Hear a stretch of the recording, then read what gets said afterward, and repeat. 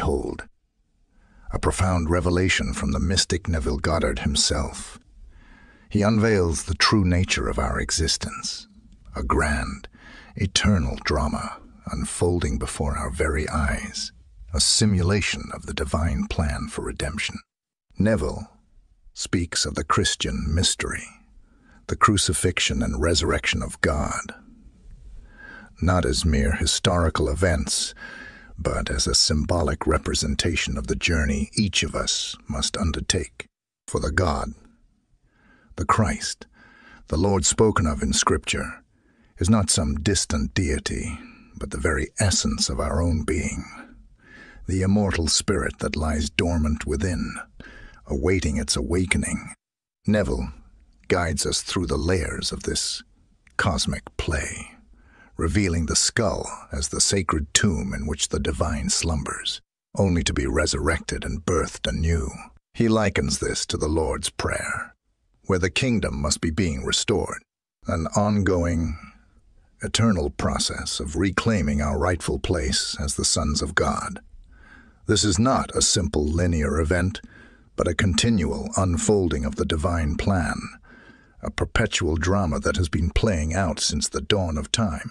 We, the children of the divine, have descended into this world of flesh and blood, penetrating and annexing the brains of these mortal vessels. In doing so, we have subjected ourselves to the full spectrum of human experience, the joys and sorrows, the triumphs and tribulations. Yet, this was not a mere accident, but a necessary step in the grand plan of redemption. It is through the crucible of this earthly existence that we are forged and refined, shedding the limitations of our mortal coil and awakening to the truth of our divine nature. Neville speaks of the scripture, foretelling this journey, how Abraham rejoiced in seeing the day of the Lord. For he knew that the sons of God would one day be raised to the level of the divine Father, but this could only be achieved by passing through the crucible of this world, shedding the garment of flesh and blood, and being born from above, awakening to the truth of our divine nature within the very recesses of our skull.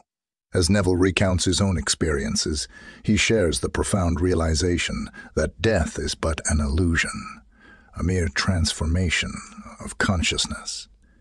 He encounters his former secretary, Jack, who had passed on, only to find him very much alive and unaware of his own transition. For in the world beyond the veil, there is no death, only a restoration to the youthful vitality that was once ours. This revelation shatters the common misconceptions about the finality of death, opening our eyes to the continuous, ever, evolving nature of existence. Neville laments the state of the modern churches, where the faithful gather not in pursuit of true spiritual awakening, but to display their finery and maintain the illusion of a separate, individualized existence. He reminds us that the kingdom of God is not some distant realm, but a state of being that can only be attained through the inward journey of self-discovery. The pomp and circumstance of organized religion he suggests, have obscured the true essence of the spiritual path, leading many astray from the transformative power of the divine spark within. The great drama of life, Neville explains, is not a linear progression, but an eternal, cyclical play that we have been performing for eons. It is only when we awaken within the dream when we recognize the true nature of this simulation, that we can begin to consciously shape our experience, manifesting the desires of our heart through the power of imagination and unwavering faith. This revelation empowers us to take an active role in the unfolding of our own destiny, no longer mere pawns in the game, but the directors of the cosmic play. Neville's words echo the wisdom of the ancient Hermetic teachings, where the mastery of the mind and the gift of speech are the keys to unlocking the immortal within. For it is only when we have transcended the deep programming of this simulated reality that we can truly receive the promise, the glorious birthing of the divine spirit within our own being. This process is not a simple one, requiring the shedding of layers of illusion and the cultivation of an unwavering faith in the power of the imagination to shape our reality. The story of Joseph, Neville's friend, who had recently passed, serves as a poignant reminder that not all are ready to embrace the mystical truth. Some are content to remain in the dream, reveling in the pleasures of the physical form until the hunger for the Word of God becomes too great to ignore.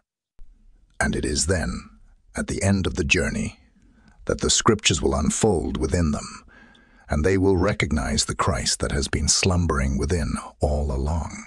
This serves as a testament to the diverse paths that lead to the ultimate awakening, each soul moving at its own pace and in its own time.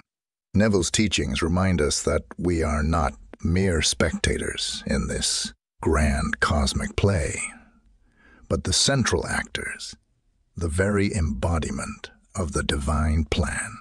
Our crucifixion, our burial, and our resurrection are not historical events, but the lived experience of each and every one of us, unfolding in the depths of our own consciousness.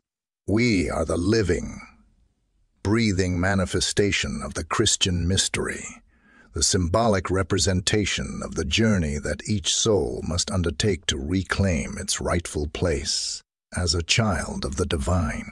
As we ponder Neville's words, we are challenged to shed the illusions of this world, to transcend the trappings of the simulation, and to awaken to the truth of our divine nature.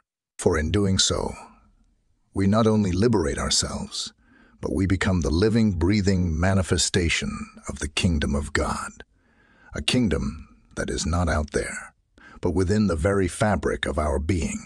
This realization is not merely an intellectual exercise, but a profound transformation of consciousness that ripples outward, shaping the very fabric of reality itself. The journey may not be an easy one, fraught with the challenges and sorrows of the human condition.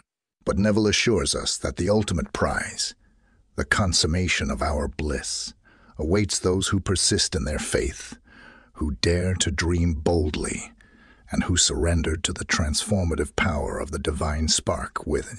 This is not a promise of some distant, heavenly reward, but a lived experience of the divine, made manifest in the here and now, a state of being that transcends the limitations of the physical world.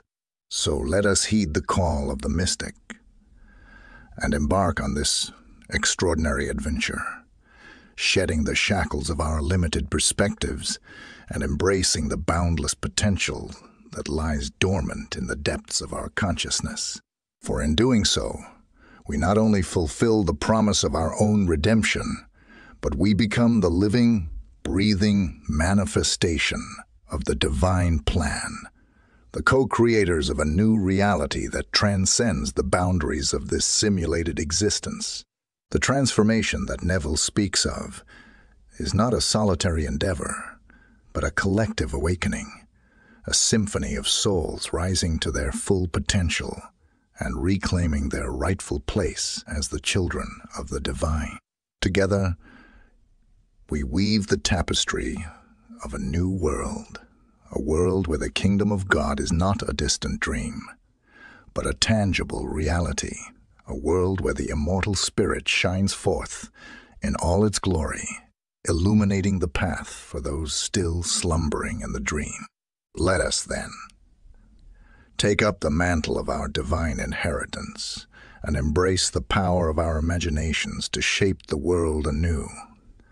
Let us cast off the trappings of the simulation, the false idols and the empty promises of a world in thrall to its own illusions and let us instead turn our gaze inward to the wellspring of the divine that lies at the very core of our being, and let it flow forth, transforming not only ourselves, but the very fabric of reality itself.